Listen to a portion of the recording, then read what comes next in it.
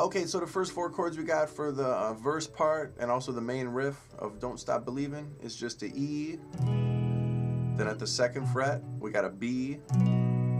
Slide that same shape up two frets, but make it minor. C sharp minor, and then back to A. So those four are just going to be E, B, C sharp, A. And then the second time, it's the same thing except we're going to bar the fourth fret and play like our E minor chord. The one that we've been playing down here is an E minor. Just slid up here at the fourth fret. It's a G sharp minor. So then we got E, B, G sharp minor, A.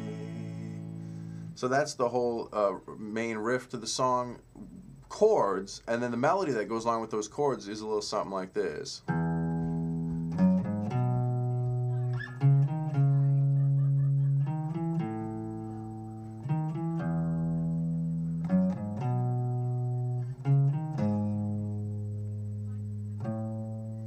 And that's all that is. And it's just uh, i wrote out the tabs for you on the sheet. It's just open. Two four two four six four six seven open.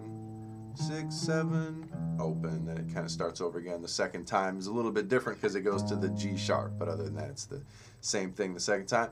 And then when it goes to the strangers that's just like an a chord.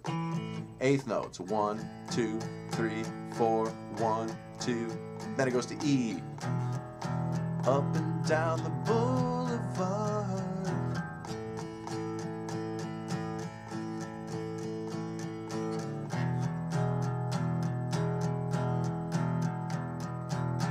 So just two bars of A, two bars of E, eighth notes. One and two and three and four and. Other than that, listen to the recording and see if you can fit some of those parts your fingers. All right, have a great break. We'll see you soon.